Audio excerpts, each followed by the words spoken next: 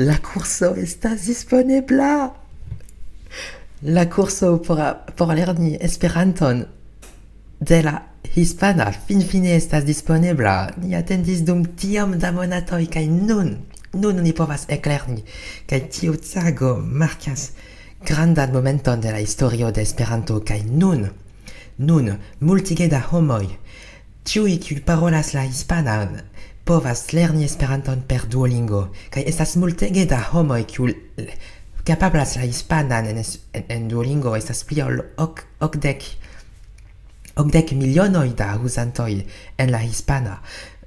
Tio estas nekredebla, tio signifas ke ĉiutage estos multe pli da homoj kiu eklernos Esperanton, oni povas esperi almenaŭ eble ducent homoj ĉiutage kiuj eklernas Esperanton. Kiu Kaj finfine, mi multe atendis dun kurson, mi jam konas Esperanton, sed mi intencis uzi tiun kurson por lerni la hispanan danke al Esperanto, sed nun la kurso estas disponebla, disponebla kaj tio estas bonega.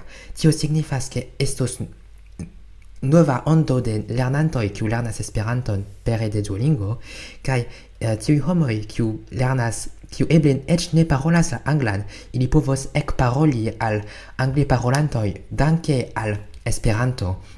Kaj tiel ili povos vidi kiel bone funkcias la Esperanton, ĉar la eble la sola la sola comuna lingvo estos Esperanto, kaj tio bonege montros ke Esperanto por tiu interkultura interlingva komunikado estas multe pli efika ol la angla.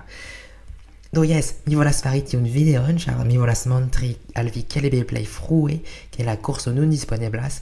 Eble vi eĉ ne plu aŭskultas min kaj tio estus bonege, ĉar vi tuj volas fari la kurson, ne aŭskultu min ĝis la fino se vi volas fari tion. Ankaŭ mi volas rapide fini la videon por fari la kurson. Do yes, uh, yes, ĝvere estas la komenco. Nun estas nur ducent estudiantes, sed tio ne normal la ĉar tio estas la unua horo kaj ankoraŭ la nombro ne ĝastiĝos. Um, ehm, Hoi, rigardu tion, estas tuta arbo, unidades de Esperanto. Tien da de, de lingots, tiom da vortoi mi povas lerni en Esperanto. Frases, clima... O oh, tio... Tio, io mite similas alla angla curso, facte? Eh?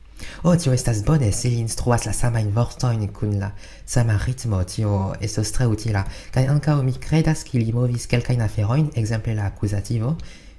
Nu, ancora l'accusativo estas frua, sed mi credas che li pli fruigis la prepozizioin. To, mi devas esplori tioin, anca mi volas consulti la, la consiloin, e, ebe ili estas tre bonai. Kai tio estas bonega, tio signifas che estos nova ondo de esperantistoi, do pretegu la alien reteioin, Reddit devas esti preta, Twitter devas esti preta, uh, Stack Exchange devas esti preta, Facebook devas esti preta, por bonvenigi tio novain uh, esperantistoin. Do, Yes, tiu tago estas bonega por Esperantujo. Dankon pro via aŭskultado.